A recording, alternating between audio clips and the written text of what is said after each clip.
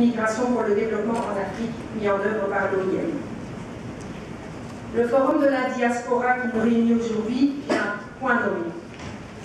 Après le succès de la réunion du groupe consultatif sur le PN2S à Paris en novembre dernier, qui a permis aux partenaires traditionnels en particulier, mais également à la communauté internationale dans son ensemble, de confirmer et de renouveler son engagement envers la Guinée, c'est maintenant au tour de la diaspora de montrer sa mobilisation et sa volonté de contribuer au développement socio-économique de la Guinée. La consolidation de la démocratie est une réalité, des opportunités sont à saisir. La communauté guinéenne en Belgique et plus largement euh, dans l'Union européenne est forte de plusieurs milliers, voire dizaines de milliers de personnes qui chacune, à son niveau, peut apporter un petit peu de sa plus-value. Mais cette mobilisation doit être organisée, elle doit être efficiente, dirigée vers des investissements productifs.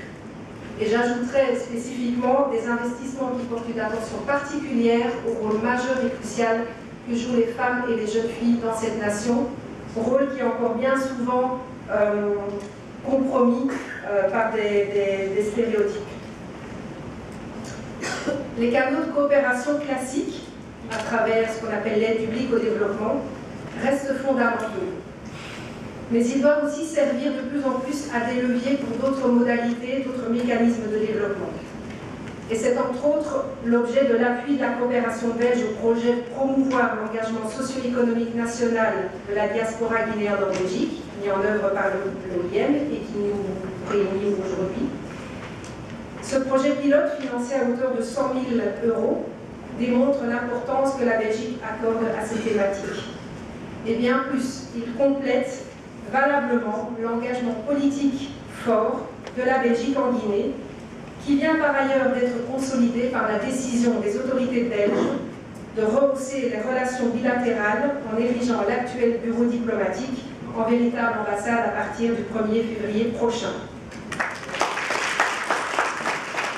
Même si dans un premier temps, l'ambassade conservera les compétences consulaires qui sont actuellement dévolues au bureau diplomatique, les autorités belges considèrent ce rehaussement comme étant de nature à renforcer encore davantage la coopération et les liens qui unissent nos deux pays.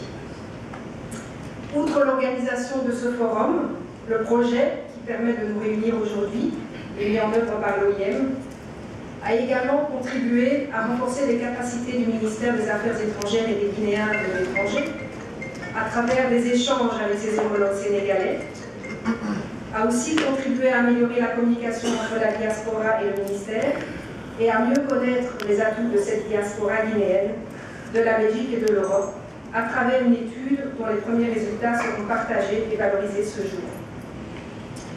Je vous souhaite plein succès dans les travaux qui nous réunissent aujourd'hui. La mise en place euh, du, excusez-moi, du Conseil guinéen l'étranger, excusez-moi, euh, est, évidemment d'une importance cruciale. Euh, nous soutenons le processus et nous vous souhaitons encore des bonnes sessions de travail pendant ces deux jours. Je vous remercie.